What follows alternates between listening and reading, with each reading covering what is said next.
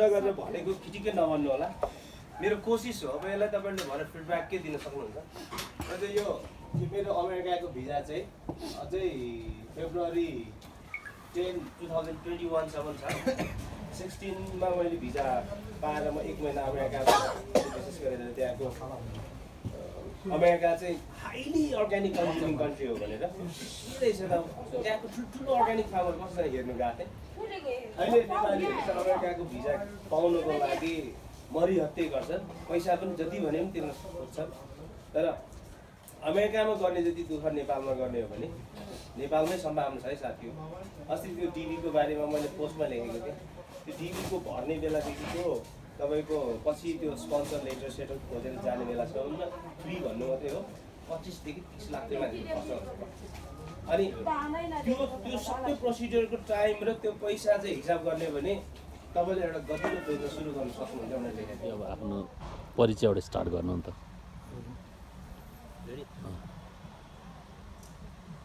A, नमस्कार। म पेम्बा शेर्पा सङ्गम। म चाहिँ ताप्लेजुङबाट आएको हुँ।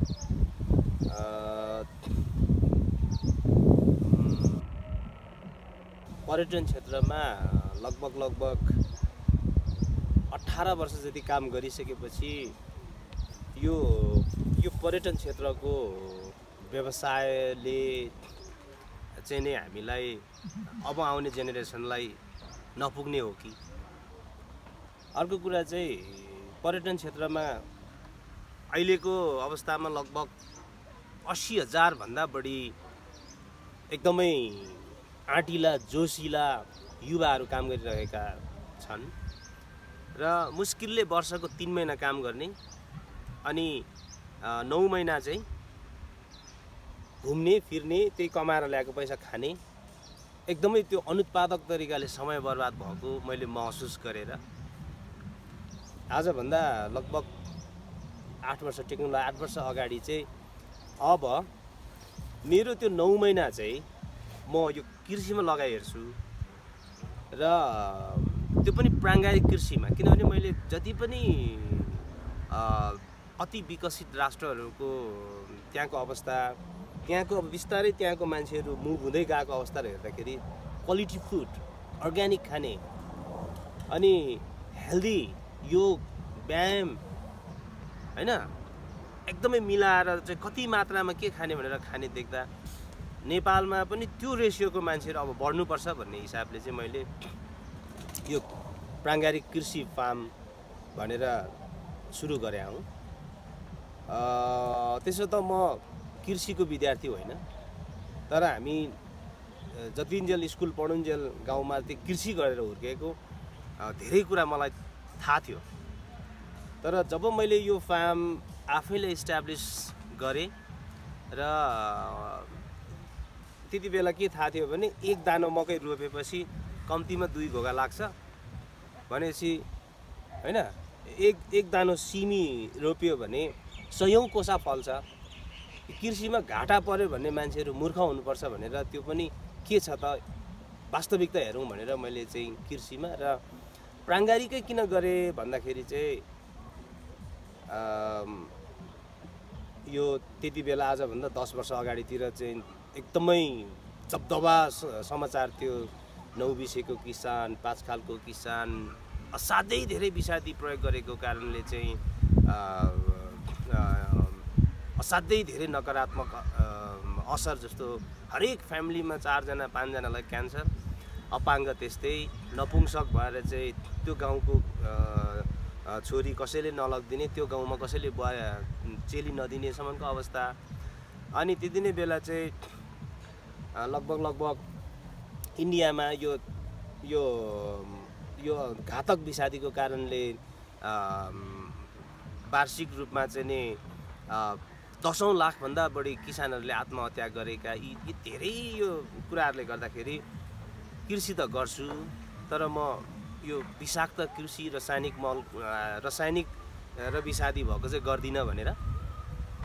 अनि अर्को कुरा चाहिँ मेरो फ्यामिली लाई बचाउनुको लागि के गर्नुपर्ने भयो भन्दाखेरि अब आफै उत्पादन गरेर खानुपर्ने भयो भन्ने हिसाबले चाहिँ मैले यो फार्म इस्टाब्लिस गरेँ हुँ। र त्यसपछि चाहिँ मेरो पर्यटन क्षेत्रको लामो अनुभव अनि कृषिमा पनि दुई चार वर्ष राम दुई वर्ष जति राम्रो पेलान्स पाएपछि यो सागै मात्रै बेचेर मुलै मात्रै बेचेर धानै मात्रै बेचेर कुखुरै मात्रै बेचेर किसान उँभो लाग्ने अवस्था मैले नदेखेर अब यसमा चाहिँ पर्यटन पनि जोड्नु पऱ्यो जहाँ चाहिँ फार्ममा आज अहिले तपाईँले देखिरहनु भएको छ बिस तिसजना मान्छे बिहानदेखि आएर चाहिँ उहाँहरूले खाइरहनु भएको छ। उहाँहरूले यहीँको सालाद खानु भएको छ यहीँको कुखुरा खानु भएको छ यहीँको धान खानु भएको छ यहीँको साग खानु भएको छ। सबै यहाँको खाँदाखेरि मैले चाहिँ यो फ्रेस लगेर बेच्नुको साटो पकाएर बेच्दा एउटा चाहिँ नि त्यो स्तर भयो महँगोमा बेच्न सकिने भयो भनेर यसको स्याम्पल फार्मको रूपमा चाहिँ यो अर्ग्यानिक फार्म हाउस कपन अहिले मैले चलाइरहेको छु। कति एरियामा छ के छ त्यो पनि भन्नु त यो चाहिँ अ, तल। अनि यो चाहिँ अब गाउँमा ठुलै खेती गरेर अब ठुलै उसमा बसेको मान्छे मेरो यहाँ उतापट्टि किनाना माथि एउटा दसाना जग्गा छ। त्यो जग्गामा आफै उत्पादन गरेर खाने गरेको थिएँ। यहाँ आएको यो जग्गा देखेँ खासै ठुलो जस्तो नलागेर आँट गरेर झ्याम्मै बिस रोपनी भन् भन्थ्यो त्यति बेला हाम्रो यहीँ पछाडिकै घरको हुनुहुन्छ हाम्रो विनोद दाईको जग्गा हो श्याम बाबै र विनोद दाईको। अनि त्यहाँ गएँ यो र ज- लगभग बिस रोपनी छ। यो यो प्राङ्गारिक कृषि गर्नुको लागि र बजारको हिसाबले चाहिँ र यो एउटा चाहिँ नि नमुना फार्मको हिसाबले चाहिँ यो सहरकै बिचमा हुनुपर्छ भन्ने मेरो कन्सेप्टले गर्दा म यहाँ आएँ। नत्र म अलिकति टाढै होइन सस्तो भाडामा अथवा थोरै जोरजाम गरेर पनि गर्थेँ होला। तर सुरुमा देखाउनुको लागि चाहिँ अलिक बढी मान्छे आइपुग्नको लागि सहरदेखि नजिक हुनुपर्छ।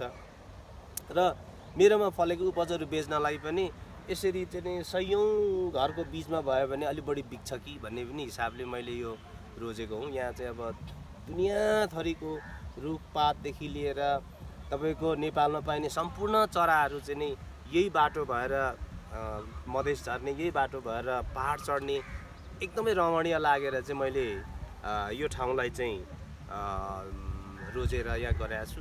मेरोमा अहिले पाँचजना कृषि स्कुलका विद्यार्थीहरू छ महिनाको भलन्टियर ओजिटी गरिरहनु भएको छ। देश विदेशबाट पनि प्रशस्तै भलन्टियरहरू आएर उहाँहरूको समयअनुसार एक हप्ता पन्ध्र दिन एक महिना तिन महिना यहाँ भलन्टियर गर्नुहुन्छ। पर्मानेन्टली तलबै खाएर काम गर्नु हुनेहरू सातजना जति मेरो स्टाफ छ। धेरै त मेरो आमा मेरो मिसेस म बेसिकली खट्छु। हामीसँग अहिले चार पाँच सयवटा जति कुखुरा होला दिनको पचास साठीवटा अर्ग्यानिक अन्डा उत्पादन हुन्छ। बाख्रा पच्चिसवटा जति छ होला। वार्षिक रूपमा हामी तिन तिनवटा चारवटा जति खसी बेच्छौँ त्यस्तै गरेर पाठापाठी पनि बेच्छौँ। हामीसँग पाँचवटा गाई छ। अब दुधको लागि नै भनौँ र मलको लागि। लगभग लगभग मेरोमा खेती गर्नुको लागि तपाईँको पैँसठी प्रतिशत जति मल मेरैमा उत्पादन भएकोले हुन्छ। र नपुगेको मल चाहिँ मैले प्राङ्गारिक मलहरू अहिले बायो फर्टिलाइजर भन्छ अरू अरू प्राङ्गारिक मलहरू पाउँछ त्यो चलाउँछु। अब विषादीको हकमा म आफै नै तयार गर्छु त्यही चलाउँछु। तर धेरै त्यो पनि हानिरहँदिनँ त्यो पनि एकदम म्यान पावर खर्च हुने त्यो हान्नुको साटो बरु उखालेर फालिदिएर दोस्रो बिरुवा रोप्छु। अर्ग्यानिकको चाहिँ त्यही गर्छु। वार्षिक अब मेरो मासिक पैँसठी पैँसठी हजार भाडा छ यो सबै जग्गा जमिनको। त्यो तिर्छु र हाम्रो यहाँ पकाएर खुवाएर उब्रेको तरकारी दैनिक रूपमा भाटबटिनीमा नक्साल भाटबटिनीमा पचासदेखि सय किलो जति सिजन हेरेर त्यहाँ राख्छु बिकेको बिक्छ नबिकेको फिर्ता ल्याउनुपर्छ अनि हप्ताको एक दिन चाहिँ बौद्धको त्यो कोराभित्रै त्यहाँ चाहिँ नि एउटा अर्ग्यानिक फार्मर्स मार्केट मेरै इनिसिएसनमा सुरु गराएको छु। पहिले पनि अरू अरू फार्म फार्मर्स मार्केटहरू पनि मैले सुरुवात गरेँ त्यस्तै छ अहिलेको लागि यहाँको चाहिँ अब यसको अरू इकोनोमिक पक्ष भनौँ न कमाइ धमाइ कस्तो छ के छ त्यो सबभन्दा ठुलो कुरा त्यो छ। होइन? बिजनेस भएन भने त चल्ने कुरो पनि भएन। हजुर। त्यसको नि अलिकति भनिदिनुहोस् त। अब अघि मैले अलिकति पहिला पनि बताइसकेँ यो सागै बेचेर गोलबेडै बेचेर गहुँ बेचेर धानै बेचेर चाहिँ नि किसानले ड्रास्टिक रूपमा चेन्ज गर्छु भन्ने हो भने तपाईँहरूले अहिले बाटोमा जाम हुने गरी किसानको गाडी भेट्नुहुन्थ्यो होला। रासायनिक मल र विषादी प्रयोग गरेको किसानहरू चाहिँ अथाह अँ, कमाएको हो भने उनीहरूले चाहिँ नि ल्यान्ड क्रुजर चढेको देख्न पाइन्थ्यो होला। तर अहिलेसम्म त्यस्तो खालको अवस्था त छैन। तर दिगो रूपमा कृषिमा विकास गर्ने हो भने प्राङ्गारिक कृषि गर्नुपर्छ र त्यसमा मैले भनेको चाहिँ प्राङ्गारिक कृषि पर्यटन विकास अवधारणा अनुरूप चाहिँ नि आफ्नो प्रडक्टहरू चाहिँ त्यहीँ पकाएर पस्किने अवस्थामा पनि बनाउन सक्यो भने चाहिँ प्रफिट छ भन्छु म चाहिँ। नेपाल नेपालको हिसाबमा चाहिँ के छ भनेदेखि यति धेरै हामीसँग ठाउँहरू गन्तव्यहरू छ तपाईँ जहाँ पनि यो किसिमले इस्टाब्लिस गर्न सक्नुहुन्छ। र त्यसको लागि जबसम्म हामीले यो कृषि पर्यटनको अवधारणा अनुरूप अनुरूप यसलाई कन्भर्ट नगर्दासम्म र त्यो बेला हाम्रो हामीले लगभग तिस लाख जति यहाँनिर एउटा घर बनाउनुको लागि भनेर जम्मा गरेको पैसालाई हामीले यो फार्ममा इन्भेस्ट गरे हौँ। किनभने घर मात्रै भएर भोलिपछि के त? एउटा सस्टेनेबल बिजनेस पनि चाहिन्छ फ्युचरमा। चाहिँ नि अब आफू पनि बुढेसकाल लागिसकेपछि पनि र आउने नेक्स्ट जेनेरेसनले कस्तो किसिमको काम गर्ला एउटा कम्पनी इस्टाब्लिस गर्यो भने त्यसमा पनि चान्स हुन्छ भन्ने हिसाबले यो गरे हो र तपाईँको हामीले सुरुवातमा तिस लाख लगानी गर्दा दुई वर्षमा हामी जिरोमा झऱ्यौँ। हामीसँग त्यो केही पनि मतलब भाडा तिर्न सक्ने अवस्थाहरू पनि अप्ठ्यारो अप्ठ्यारो अवस्थामा पुगेको थियो। त्यसपछि हामीले यो फार्म स्टे स्टाइलमा कन्भर्ट गरिसकेपछि अहिले ठिक छ अब वार्षिक अब आम्दानीको हिसाबले हेर्ने हो भने हाम्रो पुग नपुग हामीले करोडको लेभलमा गर्छौँ होला। अब ठ्याक्कै यो गरेर के चाहिँ जोड्नु भयो त तपाईँले के छ? घर कतिवटा किन्नुभयो? गाडी के भयो भन्ने हिसाबमा त भएन। तर मेरो चाहिँ आफ्नै पनि अब तिनवटा बच्चा आमा अब यो म एउटा चाहिँ नि सामाजिक कार्यकर्ताको हैसियतले खर्च वर्च गर्दाखेरि सेटिस्फाइङ छ। चल्या छ तपाईँको जे होस् चल्या छ ब्रान्ड भएको छ। अब एउटा चाहिँ नि देश विदेशबाट युवाहरू फर्केर आउँदाखेरि चाहिँ त्यो मेरो युट्युबहरू हेरेर ए तरिका त यो पो रहेछ त भनेर उहाँहरूले चाहिँ अहिले हजारौँको सङ्ख्यामा नेपालभरि यो यो यो टाइपले चाहिँ उहाँहरूले काम गर्न लाग्नु भएको छ त्यसमा खुसी छु। अब व्यापार बिजनेस भन्ने कुरो त अब बिस्तारै प्रचार प्रसार पुग्यो भने त अब मेरो दिनको सय डेढ सयजना मान्छेलाई चाहिँ एउटा शुद्ध प्राङ्गारिक खानपान गरेर सर्भिस गरेर पठाउनु प सकिने अवस्थाको मैले बनाएको छु होइन? यस्तै छ। अनि एउटा अरू एउटा कुरा पनि भन्नु। मैले अघि पनि भने यो एग्रिकल्चर गर्नुको लागि नेपालमा त अब भएकै छैन। अब चाहिँ सुरुवात गर्ने हो कि भनेर मैले प्लान गरिरहेको छु। मलाई अहिले चाहिँ मेरो साथीहरूले यो कुखुराको दानाको लागि मकै उत्पादन गर्नु न तपाईँ के हेरेर बस्नु? कृषि भन्ने जुन बढी बिग्छ त्यो किन उत्पादन गर्नुहुन्न भने अनि हिजो मात्रै म गएर डाटा लिएँ। अनि तपाईँलाई साँच्चीकै मकै चाहिँ कति चाहिने हो दिनको भनेको? उहाँहरूको अहिले एकदमै नाम चलेको कम्पनीहरू छ जुन दाना फिड इन्डस्ट्रिजहरू छ। उनीहरूको त्यो रेकर्डमा देखिएको दिनको पाँच हजार टन। त्यो पाँच हजार टनलाई चाहिँ तपाईँ तिन सय पैँसठी दिनलाई भाग लगाएर हेर्ने हो भने अठार लाख टन मकै चाहिँ अमेरिका जापान बेल के अरे बेल्जियम ब्राजिल म्यानमार लगायतका देशहरूबाट आइरहेछ। अब त्यो रेसियोमा उत्पादन गर्ने भने त यति भन्नै भएन क्या तपाईँको हजारौँ बिगामा लगाउनु पर्ने भयो। तर मेरो कन्सेप्ट अनुसार तपाईँको उत्पादन मतलब आर्थिक उपार्जन गर्ने हो भनेदेखि चाहिँ दुई रोपनी दुई रोपनीबाट पनि सुरु गर्न सक्नुहुन्छ। तपाईँको एउटा मजाको बस्ने ठाउँ हुनु पऱ्यो एउटा किचन हुनु पऱ्यो होइन? दुईवटा कटेज अथवा दुईवटा टेन्ट हुनु पऱ्यो सुरु भयो। तर त्यसमा तपाईँले के गर्नु पऱ्यो भने वरिपरिका किसानहरूलाई इन्सपायर गरेर उहाँहरूलाई समय आफूलाई चाहिने उपजहरू उत्पादन गर्न लाउनु भने त्यतिले सुरु हुन्छ। होइन म सबै चिज म आफै उत्पादन गरेर मेरै तरिकाले चाहिँ उत्पादन गरेको खुवाउँछु र बेच्छु भनेर बिजनेसको स्केल हुन्छ। म यो स्केलमा गर्छु भन्यो भने क्षमता छ भने तपाईँले एक दुई बिघा जति चाहिँ दामी एकदमै उर्वर जमिन मधेसमा चाहिन्छ तपाईँलाई तेलको लागि सक्खरको लागि चामलको लागि होइन मैदाको लागि आफ्नो यो रिजोर्टलाई पुग्ने उत्पादन गर्ने अनि त्यसपछि आफ्नो रिजोर्ट वरिपरि तपाईँको बिस पचास पन्ध्र रोपनीभन्दा बढी चाहिँ स्विमिङ पुल बनाउनु पर्ने हो कि? तपाईँको साधारण एउटा गाईको गोठ बाख्रा गोठ अनि त्यसपछि लोकल कुखुराको लागि अनि त्यसपछि अहिले त बालबच्चा के अरे केटाकेटीहरू लिएर आउने मान्छेहरूलाई घुम्ने गर्नु सक्यो भने जहाँ जस्तो अवस्थामा पनि यो कन्सेप्टमा सुरु गर्न सकिन्छ। र लगानीकै कुरा गर्ने हो भने दुई रोपनीमा दसजना मान्छेलाई बस्न खान मिल्ने अवस्था गर्ने र छरछिमेकमा भाले ल्याउने अन्डा ल्याउने चामल ल्याउने पिठो ल्याउने गरेर सागपात ल्याएर गऱ्यो भने दुई रोपनीमा पनि सुरु गर्न सकिन्छ। तपाईँको दुई दुई रोपनीमा चाहिँ नि मिनिमम पाँच लाख खर्च गरेर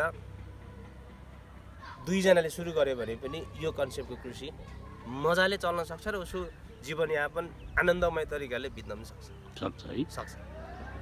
अब सरकारको अलिकति कुरा गरिदिनु त। सरकारले चाहिँ यो खास तपाईँको फिल्ड भाइ होल एग्रिकल्चरको एउटा सिनारियो होला। अर्ग्यानिक एग्रिकल्चरको एउटा सिनारियो होला होइन? अर्ग्यानिक एग्रिकल्चरको लागि चाहिँ कस्तो छ हाम्रोमा? कुनै सपोर्ट पाउने स्थिति के कसो? त्यसमा अरू विभिन्न हुन्छ नि। तपाईँलाई डाइरेक्ट सपोर्ट नदिए पनि मार्केट गरिदिने मार्केटको सपोर्ट गरिदिने अथवा इनपुटमा सपोर्ट गरिदिने त्यस्तो अवस्था चाहिँ के छ? अहिले त त्यो त्यो जुन त्यो सपोर्ट भन्नाले अनुदान नै भनौँ। यो अनुदानको चाहिँ एउटा एउटा व्यक्तिले भन्नुहुन्थ्यो मन्दिरमा जाँदा जसले जुत्ता चोर्छ नि अनि त्यसले मात्रै जुत्ता लुकाउँछ अरे साधारण मान्छेले जुत्ता हराउँछ भने थाहै छैन ऊ जहाँ फुकालेर हिँडिदिन्छ। तर जो जुत्ता चोर्छ उसले चाहिँ हराउँछ भनेर लुकाउँछ अरे। सरकारी कर्मचारी विरोध गरेर भने होइन। तर सरकारी कर्मचारीहरूले यस्तो न त्यो क्राइटेरिया बनाएर लान्छ कि म जतिको संसार घुमेर चाहिँ नि हजारौँ हेक्टरमा तपाईँको यति हाई टेक एग्रिकल्चर देखेर आएको मान्छे दुई चार अक्षर लेख्न जान्ने बोल्न जान्ने मान्छे मै त्यो छिरेर म त्यो त्यो त्यो नर्म्स पुरा गरेर केही लिन सक्छु कि भन्ने आँट राख्न सक्दिनँ। भनेपछि पैँसठी प्रतिशतभन्दा बढी जनसङ्ख्या कृषिमा छ भन्छन्। कति मान्छेलाई काठमाडौँ जिन्दगी देखाएको छैन। अहिलेसम्म कम्पनी खोल्नुपर्छ भन्ने थाहा छैन अध्यावधि गर्नुपर्छ भन्ने थाहा छैन के छैन। त्यस्ता खालको मान्छेहरूले लिन सक्ने खालको यो नर्म्स नै छैन। त्यो अप्ठ्यारो छ। होइन अब सब्सिडी आउनुपर्छ। अहिले देशको टोटल जनसङ्ख्याको वान पर्सेन्ट टू पर्सेन्ट मात्रै किसान भएको देशहरूमा पनि सब्सिडी छैन भने किसान बाँच्न सक्दैन भन्ने इतिहास झकझाएर छ भनेपछि हामी जस्तो चाहिँ नि यो एउटा अति कम विकसित राष्ट्रको र बिस्तारै चाहिँ अब सस्टेन हुनुपर्छ भनेर वर्षौँ चाहिँ नि तपाईँको विदेशमा दुःख गरेर अब केही गर्छु भनेर आउने मान्छेहरूको लागि सरकारले त्यो कार्यक्रम ल्याउनुपर्छ। कतिले भन्छ अनुदानको कार्यक्रम रोकेर चाहिँ एकदमै सफ्ट इन्ट्रेस्ट राखेर लोन दिनुपर्छ भन्छ। त्यो लोन लिएर गर्न सक्ने अवस्थाको किसानहरू पनि धेरै कम छ। र त्यसको लागि चाहिँ अब सरकारले अनुदानको कार्यक्रमलाई निरन्तरता दिनुपर्छ। तर चाहिँ कोही कोही झोले किसान धुर्त किसानहरूबाट बच्नु पनि पर्छ। तर साँच्चीकै जिन्युन किसानहरूलाई चाहिँ त्यस्तो धेरै त्यो क्राइटेरियाको कुराहरू भन्दा पनि सिधै उसलाई चाहिँ त्यो अनुदानको कार्यक्रमहरूमा पारेर तालिमहरूमा अनुगमन भ्रमणहरूमा पार्न सक्यो भने चाहिँ कृषिमाथि उठ्छ। होइन? अहिले अब यहाँ कार्यक्रमहरू पनि कस्तो छ नि पोलिसीहरू पनि जस्तो पहिला हामी अर्ग्यानिक गर्ने युरिया र रासायनिक मल विषादीको कुरै नगरिकन एकहोरो तरिकाले लाग्ने हामी एक बाटोमा छौँ। त्यति बेला साह्रै ठुलो हङ्गामा गरेर आइपिएम आइपिएम भनेर आयो। सरकारले लगानी पनि गरे होला। त्यो त्यस अनुसार किसानहरूलाई पनि एक्टिभेट गराएको त होला। अनि अहिले आएर फेरि अब यो एक डेढ वर्ष भयो। फेरि ग्याप भन्ने एउटा नयाँ सिस्टम आएको छ। तर वास्तवमै भन्ने भने यो यो कुराहरूमा भन्दा पनि प्राङ्गारिकमा चाहिँ सबै कुरा बिर्सिएर अरू पाँच वर्ष जोड गर्ने हो भने नेपाल पुरै प्राङ्गारिक हुन पनि सक्छ र अनाहकमा चाहिँ ती अन्जान किसानहरूले औषधिको नाममा घातक विषादीलाई प्रयोग गरेर अनि तपाईँको यो के भन्छ यो अन्जान उपभोक्ताहरूलाई चाहिँ राम्रोको नाममा मिठोको नाममा चाहिँ नि अब सत्तरी अस्सी प्रतिशतभन्दा बढी त्यो विषादीको अवशेष भएको चिजहरू खुवाउनु पनि पर्दैन। र अहिलेको साल को तथ्याङ्क हेर्दाखेरि एक सौ तेह्र अर्बको खाद्यान्न हामीले ल्याएर खायौँ भन्छौँ। त्यो अवस्था पनि दूर हुन्छ जस्तो मलाई लाग्छ। र अर्को चाहिँ अघि तपाईँले भन्नुभएको जस्तो त्यो विदेशमा बसेको युवालाई फर्काउनलाई के गर्न सकिन्छ भन्नेमा म थोरै जोडिहालेँ। वास्तवमा मैले त्यहाँ माथि मेरो त्यो उसमा अमेरिकाको भिजालाई यु युरोपको मेरो मल्टिपल भिजालाई मैले त्यहाँ टङ्ग्याएर राखेको छु। त्यो मसँग छ भनेर घमण्ड गर्नुभन्दा पनि हाम्रो अवसर हुने बित्तिकै अलिकति हुने खानेको छोराछोरी हुने बित्तिकै नेपालमा पढ्दै नपढ्ने पढ्नै नसक्ने अनि दुई चार करोड पैसा हुने बित्तिकै नेपालको यो सिस्टम अनुसार यहाँको सुविधा अनुसार बस्नै नसक्ने भन्ने खालको जुन एउटा नकारात्मक सोचाइ छ त्यसलाई दूर गर्नुको लागि चाहिँ सर्वप्रथम बेरोजगारी कम गर्नु पर्यो। अ, जब जबसम्म गाउँमै हजार पन्ध्र सय दुई हजार दिनको चाहिँ नि सात घन्टा आठ घन्टा खट्दा कमाउन सकिन्छ भने कोही नेपाली चाहिँ तपाईँको खाडीमा गएर बाक्सामा आउनुपर्ने कोरियामा गएर त्यहाँको चाहिँ त्यो खटाइ त्यहाँको त्यो कोरियनहरूको पेलाइ सहन नसकेर चाहिँ नि झुन्डिनु पर्ने अनि अठार बिस तलाबाट फलान्नु पर्ने अवस्थाहरू चाहिँ आउँदैन। त्यो नआउनुको लागि चाहिँ गफै मात्रै दिएर चाहिँ हुँदैन। मैले अघि भने यो कृषि पर्य प्राङ्गारिक कृषि पर्यटनको अवधारणा अनुरूप हामीले आफ्नै फार्मलाई दुईवटा लाख रुपियाँबाट सुरु गर्ने हो भने गाउँमा कहाँ पाउँछ लोकल अन्डा खानु तपाईँले एउटा कुखुराको भाले डेढ किलोको पाँच हजार भन्छ। अलैँची बारी छ घर छ सबै छ। हेऱ्यो एउटा कुखुराको माउ छैन। कति कुखुरा हुर्किन्छ होला त्यहाँ सोच्नुहोस् त कसैले दुई लाख रुपियाँ खर्च गरेर यसो एक दुई दिन व्यावसायिक लोकल कुखुरा पालनको बारेमा चाहिँ अलिकति पढ्ने र तालिम गरेर लाग्ने हो भने दुई लाख रुपियाँबाट लोकल कुखुरा पाल्न थाल्ने हो भनेदेखि उसको पाँच वर्षमा उसको त्यो बिस लाख लगाइसक्छ पचास लाख पुऱ्याउन सकिन्छ खानै पाउँदैन। लोकल अन्डा भनेको त उहिले हाम्रो बाबुबाजेले आनामाना घिउ खान्थे अरे भने जस्तो लोकल अन्डा पनि दिनकै खान्थे अरे भन्ने इतिहास हुन लागिसक्यो। भनेपछि हाम्रै देशमा त्यसरी विदेशमा गएर परिवारदेखि टाढा आफ्नो छोरा छोरी जन्मिनुभन्दा पहिला गएको हुन्छ छ वर्ष पाँच वर्षपछि फर्केर आउँदाखेरि बा बच्चाले चिन्दैन अङ्कल भन्छ। को हो? मम्मी को हो भन्छ होइन? त्यस्तो पीडादायक तरिकाले बस्नुपर्ने अवस्था म नेपालीको देख्दिनँ।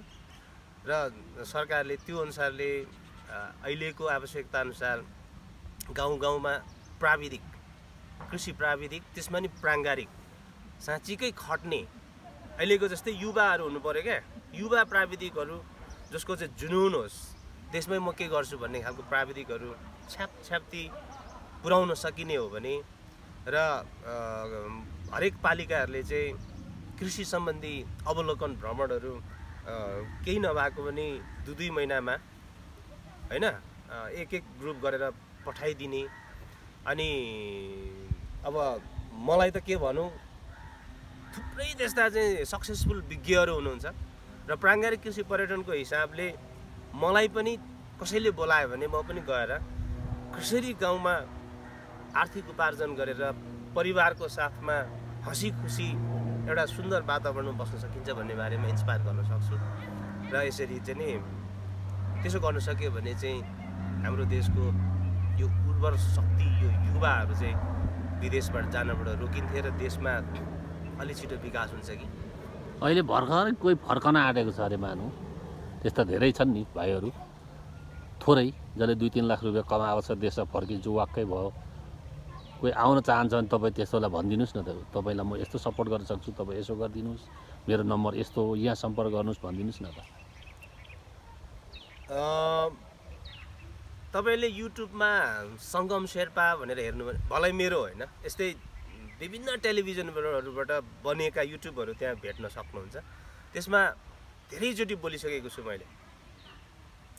नेपालमा यति धेरै सम्भावना छ हामीसँग यति धेरै गन्तव्य छ यति धेरै टाकुराहरूमा तपाईँ सुरु गर्न सक्नुहुन्छ यति धेरै तालको छेउमा सुरु गर्न सक्नुहुन्छ यति धेरै हाइवेको टर्निङहरूमा तपाईँले सुरु गर्न सक्नुहुन्छ। हरेक गाउँपालिकाको छेउमा वडापालिकाको छेउमा तपाईँले सुरु गर्न सक्नुहुन्छ जहाँ पनि सुरु गर्न सक्नुहुन्छ। किनभने मान्छेलाई खानु परेको छ। अहिले गाउँ गाउँमा गएको कर्मचारी बिचरा खानु नपाएर राम्रो खालको खाने ठाउँ छैन राम्रो बस्ने ठाउँ छैन एउटा मिठो शब्द बोल्ने एउटा सुस्ताउने ठाउँ छैन कहीँ पनि। हरेक तपाईँले भन्नुभयो अहिले भर्खर कोही विदेशबाट फर्किँदै हुनुहुन्छ भने प्लिज तपाईँ मेरो नम्बर चाहिँ अन्ठानब्बे पाँच दस एकतिस असी सात हो। वा तपाईँले अर्ग्यानिक फार्म हाउस कपन भनेर चाहिँ नि फेसबुकमा अथवा उसमा हेर्नु पनि सक्नुहुन्छ। भेटेर जान सक्नुहुन्छ। अभियसली समय त मसँग धेरै छैन। म व्यस्त रहन्छु तर विशेष गरेर विदेश जानु लागेको र पर्यटन क्षेत्रमा काम गर्ने साथीहरूले लौ न केही आइडिया चाहियो भन्यो भने म मेरो विषयसँग झगडै गरेर भए पनि टाइम म जुराउँछु। र तपाईँ कुनै न कुनै किसिमले कुनै न कुनै अघि भने जस्तो एउटा त्यो गन्तव्यसँग जोडिएको ठाउँ हुन्छ। तपाईँको ठुलो ठाउँ चाहिँदैन होइन? अहिले विदेशबाट फर्केको युवालाई भनेर पैसा गभर्मेन्टले बिना धितो पाँच लाख दिने भनेको छ।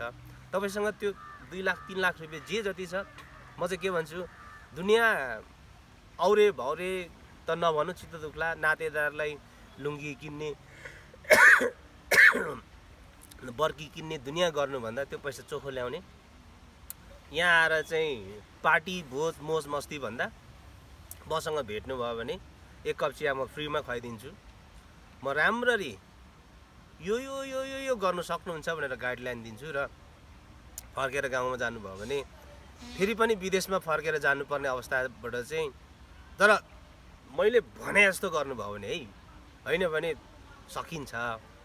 तर बिना तालिम बिना रिसर्च र बिना विज्ञहरूको सल्लाहमा कृषिमा चाहिँ म भन्छु कामै नगर्नुहोस्। सम्बन्धी तालिम पनि लिनु भएको छ भन्ने सुनेको छु। इन्डियातिर कता कता लिनु भएको छ त्यो पनि अलिकति भनिदिनुहोस् के हो त्यसको? अस्ति तल इटरीमा एउटा यस्तै प्राङ्गारिक कृषि पर्यटनको एउटा पूर्वमा एउटा नमुना फार्म सुरु गर्नु पऱ्यो भनेर म गएको थिएँ। त्यहाँ एउटा ठुलो मान्छे आइपुग्नु तपाईँलाई तपाईँले सक्ने हो भने पाँच हजार बिघा चाहिँ जग्गा निकालिदिन सक्छौँ हो। मलाई चाहिएको त्यस्तै हो। तर उहाँले सोध्नुभयो तपाईँ कृषि पढेको मान्छे हो र? एकछिन त म के भनौँ भनौँ भएँ होइन? अब तर मैले भ्याट्टै मुखमा के आयो भने म कृषि पढेको विद्यार्थी चाहिँ होइन। तर नेपालको सबैभन्दा भाग्यमानी किसान मध्ये एउटा हुँ भन्छु। यदि यो नेपालको सबै किसानले मैले जति चाहिँ देश विदेशको त्यो अथा त्यो विकास एकदमै ठुलो त्यो कृषि एकदमै एकदमै त्यो सभ्यता सभ्य देखेको देख्ने हो भने हरेक किसान